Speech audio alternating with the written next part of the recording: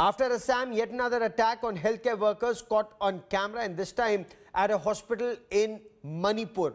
Now this incident was reported from Imphal's Jawaharlal Nehru Institute of Medical Sciences. Relatives of a 33-year-old patient who died due to COVID vandalized the ICU and damaged oxygen concentrators. The entire incident was caught on the CCTV cameras of the hospital. Now, according to reports, the patient was admitted to hospital with severe COVID-19 related complications and was advised immediate ICU. But the family of the patient refused ICU admission. Subsequently, two people were detained in connection with the attack after hospital authorities and doctors lodged a formal complaint. The incident comes days after a mob attacked a junior doctor at a COVID care center at in Assam's Hojai district following the death of a COVID patient. Two others, including a woman, were injured in that attack.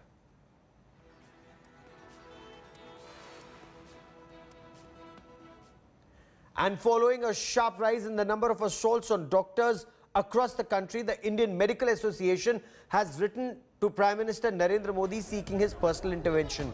The IMA requested Prime Minister Narendra Modi to personally ensure that medical professionals across the country are able to work without mental and physical fear.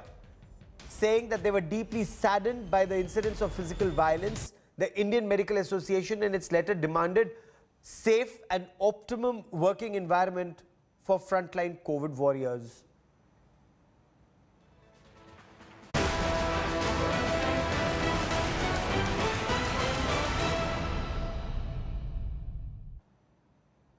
And the other big story we're tracking here on India today, the screening of children for the second phase of clinical trials of Bharat Biotech's Covaxin is starting at the All India Institute of Medical Sciences today. The clinical trials will be conducted to see if the vaccine is safe and effective for children between the age group of 2 years and 18 years. The clinical trials hold immense significance as several parents and children are worried about the possible impact of the likely third wave, especially on children. India has no vaccine for children that's been approved below the age of 18 as of now. A total of 525 children will be included in these trials, which have been divided into three groups. So group 1 has children between the age group of 12 to 18 years. Group 2 has children between the age group of 6 and 12 years. And group 3 has children in the age group of 2 years to 6 years. The volunteers will receive two doses of Covaxin at an interval of 28 days. This comes after AIIMS Patna started the trials recently on children between the age group of 12 and 18. हो जाता है तो उसके बाद recruitment बंद हो जाता है उसके बाद रेगुलर इंटरवल पे उनका फॉलोअप होता है जो चलता रहेगा फाइनल रिजल्ट वो बताता है कि रियली सेफ्टी है कि नहीं। उन बच्चों का हम मॉनिटर करते रहेंगे और जैसे एडल्ट में करते रहें, वैसे ही बच्चों में भी मॉनिटर करेंगे। इम्यूनोजेनिसिटी भी देखेंगे कि सेफ्टी ही नहीं। अगर सेफ़ भी है तो क्या बच्चों में देने से फ़ायदा है कि नहीं? क्या एंटीबॉडीज लेवल बन रहे हैं कि नहीं? उसके बाद अगर रिज़ल्ट आता है रिसर्च के बाद कि हाँ सेफ़ भी है और अगर इफ़ेक्टिव भी है तो शायद रेगुलेटरी अथॉरिटी उस पर जो भी निर्णय लेना होगा वो लेंगे। Covaxin or Covishield? And that's the question on virtually everyone's mind planning to take their first shot against COVID-19. The government says both offer protection against COVID-19, but an Indian study, the first Indian study among doctors and nurses say that those who are getting Covishield perhaps generate a higher proportion, a higher degree of antibodies. India Today's Sneha Mordani with this report.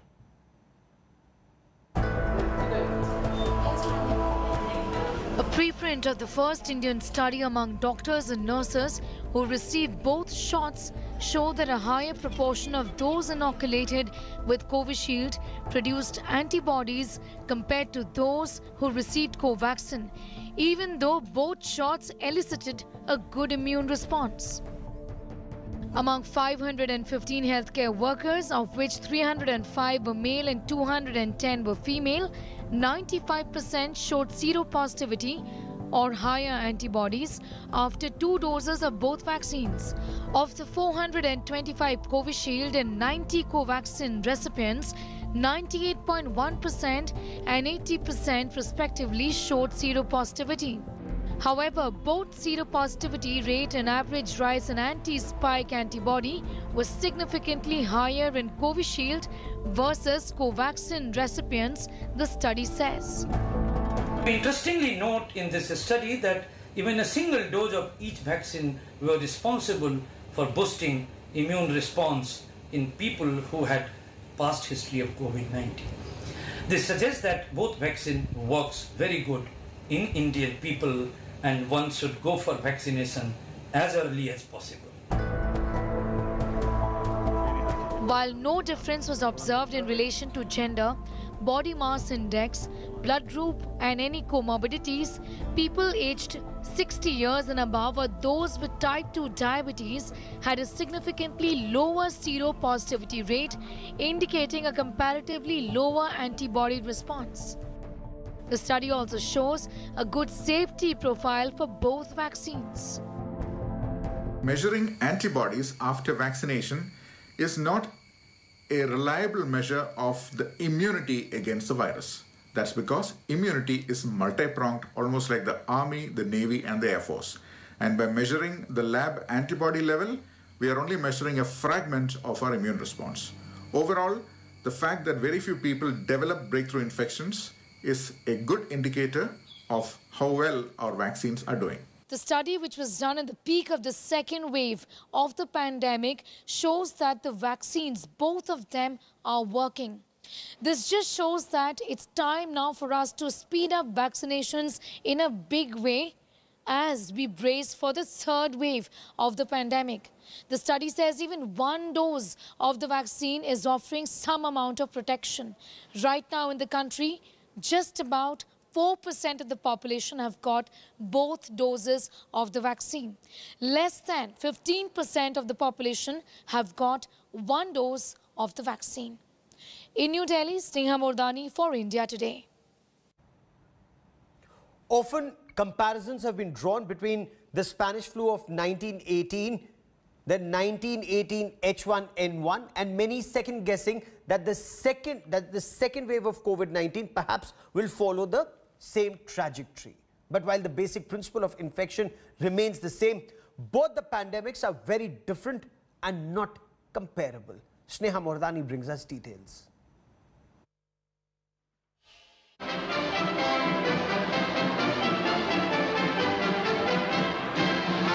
For these fighting men, war was over.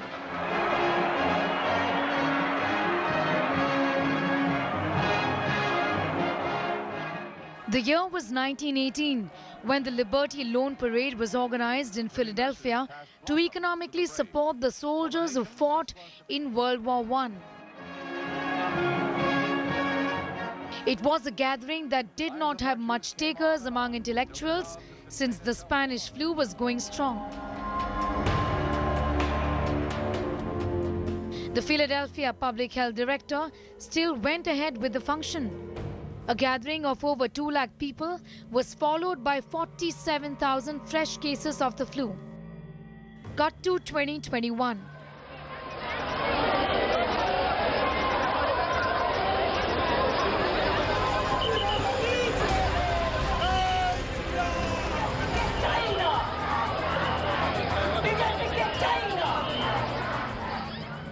These pictures from India tell you that very few learn from history. These events from early 2021 were followed by the second wave of the pandemic in India. But in spite of the similarities in infection spread and the public health response to the pandemic being very similar, these two pandemics can't be compared, say experts. The third waves of uh, Spanish flu and COVID-19 cannot be uh, well compared, mostly because these diseases are completely different in the way they spread. And the new variants in circulation in the COVID-19 makes it even more difficult to be compared to any other infectious diseases. But what remains to be common, uh, constant across both the uh, diseases or with others is the epidemiological triad of agent, host and the environment. The interaction between these three components of the triad are very important in understanding how the disease spread faster. Uh, human behavior is one common thing which spreads across all infectious diseases. So it's in the hands of the uh, human beings that we prevent the spread of the viruses. The viruses don't spread on their own. The second wave of the Spanish flu killed many between the age of 30 to 40. The second wave of the coronavirus in India also killed many in this age group. Both the second waves of the two pandemics more severe than the first one, obviously raising questions about how the third wave could look like. Experts say for India, if you look at the second wave, the pandemic seems to have repeated history. The ongoing second wave of COVID 19 has not only been brutal, but harshest pandemic wave witnessed in any part of the world. But a replication of the third wave is not what they expect. Now, the third and fourth wave were relatively smaller in uh, 1918-1920 influenza pandemic. But I would not compare the flu pandemic of 1918-20 with the COVID-19 pandemic. There are a number of reasons that we know that the SARS-CoV-2 has a new variant which are far higher transmissible. They have immune escape. They are also showing some sign of additional virulence or severe disease. But we really don't know what was the scenario for uh, flu pandemic 100 years ago. We know that uh, influenza virus was uh, identified 13 years after the pandemic got over. So we really don't have that kind of history or evidence for uh, that pandemic. But now with the new variants of SARS-CoV-2, a lot of difference in the behavior are there, and if not genetically from ancestral virus, uh, the differences are from the ancestral virus which was originally identified in Wuhan. There were three different waves of illnesses during the Spanish flu pandemic, starting in March 1919 and subsiding by the summer of 1919. The pandemic peaked in the US during the second wave in the fall of 1919. This highly fatal second wave was responsible for most of the deaths in the US attributed to the pandemic. A third wave of illness occurred around the winter and spring of 1919, adding to the pandemic death toll. The third wave of the pandemic subsided during the summer of 1919.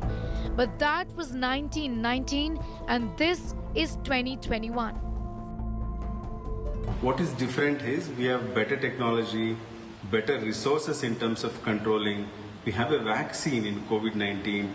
All of this makes it is easier during COVID 19 to tackle rather than Spanish flu's helplessness era where many people could not do anything. So, uh, with better resources, uh, we should not be uh, in any way comparable to the third wave of Spanish flu. Epidemiologists say that there is a possibility of a third wave of the infection sometime towards the end of this year. But because many people have got the vaccine and will be getting the vaccine in the run up to the end of the year, and also because of exposure to this virus, there is a possibility that a lesser number of people would be affected. But still, do not leave anything to chance to presume that this infection is going to follow the same trajectory as the Spanish flu of the year 1918 is not practical. In fact, prepare for the third wave, even for the fourth wave and subsequent waves is what experts are advising till the time this becomes endemic. In New Delhi, Sneha Mordani for India Today.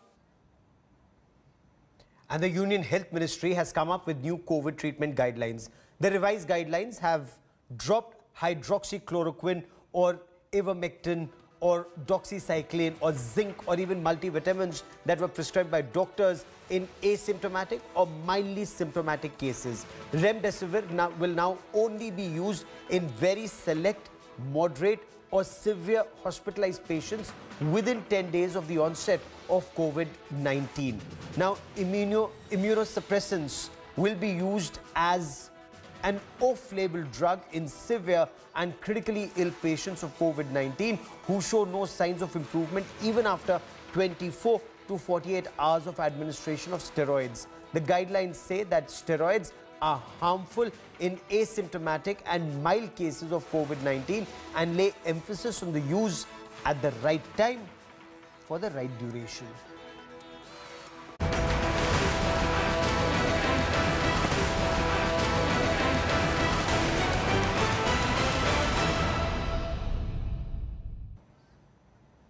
And as COVID cases go down, restrictions have been further eased in the national capital. After a stringent two-month-long lockdown, new unlock guidelines have come into force starting today. Markets and malls are allowed to reopen, but on an odd and even basis from 8 from 10 a.m. to 8 p.m. Standalone shops may remain open on all days. Delhi metro services resume with a seating capacity of 50%. Private offices have also been allowed to function with 50% manpower. Last week, the government allowed factories to reopen and construction activity to resume following a dip in cases and positivity rate going down in the city.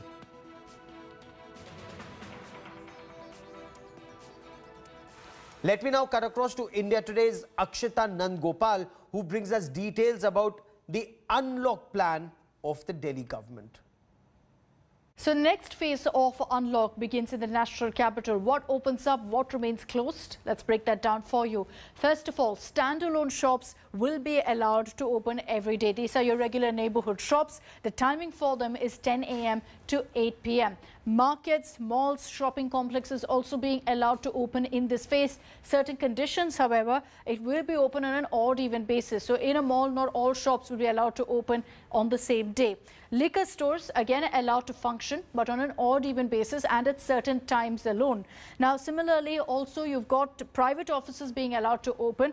It will have only 50% capacity, which means that 50% of the staff will be allowed to work. The timing given by the government is 9 a.m. to 5 p.m. And then you have the Delhi metro services. They will now be functional. All trains will be functioning, but 50% capacity only to ensure that there is adequate social distancing. What remains closed? Cinemas, movie theatres, theatre halls, all of that remains closed. They will not be opening up in this phase. Restaurants and bars, at this point, you cannot go in and dine at any of these restaurants. Takeaway, however, is allowed. Home delivery is also allowed. So they will be open. Gyms, bars, salons, beauty salons, beauty parlors, they will remain closed in this current phase. They're not going to be allowed to open. Similarly, swimming pools and public parks are also closed at this point. They're not being opened up by the government right now could be in the next phase. Educational and coaching institutions also are closed. So online classes will continue. We're expecting that in the coming weeks, they too could perhaps open up. And India Today's Chaiti Narula now tells us more about what the norms would be if you're traveling on the Delhi Metro. Let's get you the Delhi Metro unlock plan now. 50% seating capacity is allowed. Passengers on alternate seats. Um, no standing travel. Uh, and the train frequency is 5 to 15 minutes. It's also going to be, there you go, passengers and alternate seats. Passengers are going to be sitting on also. You have to leave one and then be seated on the other. You can't just sit next to each other. No standing travel, as I mentioned earlier as well. You cannot be standing. You have to be seated if you're traveling by the Delhi Metro here in the national capital. And between 5 to 15 minutes, there will be a train frequency uh, for all the commuters. It's going to be a full operation that will begin, but from Wednesday. Uh, there will be masks that are mandatory. There will be temperature that is going to be checked. Social distancing will have to be observed if you're traveling by the metro. So as cases continue to decline, not just in Delhi, but in the NCR, curbs have also been relaxed in adjoining Noida. Now, as per new guidelines, all shops and markets outside containment zones will now be permitted to open at 7 in the morning till 7 in the evening on weekdays. Street hawkers and vendors can open their shops but need to ensure COVID appropriate behavior. Only home deliveries will be allowed from restaurants. Not more than five people will be allowed to gather inside any religious place. Up to 25 people are allowed to gather for a marriage and a maximum of 20 can attend a funeral procession under the unlock guidelines. All schools, colleges and educational institutions will remain closed. Cinema halls, swimming pools, clubs and shopping malls will not be operational in Noida. Private office employees have been advised to work from home. However, the district will remain under complete curfew on weekends after 7 pm on Friday till 7 am on Monday.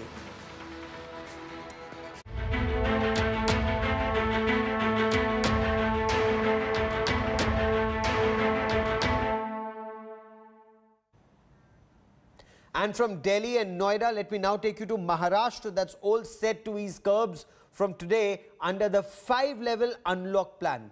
Now, as per the Brihan Mumbai Municipal Corporation's new guidelines, shops selling essential services will open till 4 p.m. all days. Non-essential services are only permitted to open on weekdays. So spas, salons, barber shops, wellness centers, they can reopen with 50% capacity. Dining services in restaurant will remain functional till 4 p.m. weekdays. Only takeaways are allowed during weekends. Medical and essential services will be allowed on Mumbai's local trains. Buses will be permitted to run at full capacity, but social distancing norms need to be followed. Section 144 remains applicable across Mumbai, but not more than five people can gather at public places. Private hospitals will operate, uh, private offices will operate till 4 p.m. with 50% capacity. Malls and theatres continue to remain shut. Similar guidelines have been issued in several cities and towns in Maharashtra.